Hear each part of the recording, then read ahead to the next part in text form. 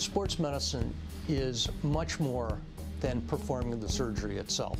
I've always felt that the responsibility of the operating surgeon is to supervise the patient through the rehabilitation. We have to take the patients from a point where they're injured to the point where they can go back to sports.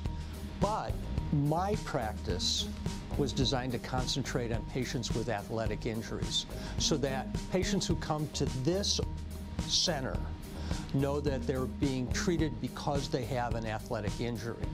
What a procedure can do is to decrease the chance of arthritis and therefore allow the patient to maintain a healthy lifestyle. After a period of physical therapy, I was able to uh, achieve full range of motion, no limitations whatsoever, and was able to resume full normal activities, including working out with a, with a golf fitness trainer five days a week.